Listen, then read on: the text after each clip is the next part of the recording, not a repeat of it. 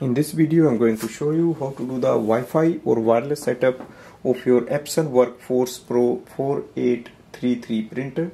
Now the first thing is to switch on the printer and go to the touch panel. Scroll ahead and look for the settings. General settings.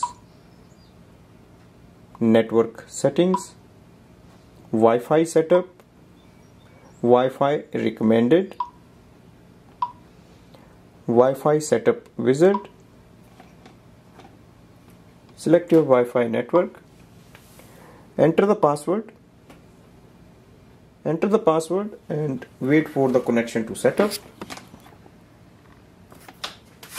So once the setup is complete you can simply go to the home button. And now we can add this printer in any device for wireless printing and scanning for example I'm going to add it in my iPhone you need to download the Epson iPrint app to use. In the app, you have to simply click on the top printer section and look for the printer series 4830 series and automatically it will be added there. Now we can use it for wireless printing and scanning from here. Thanks for watching.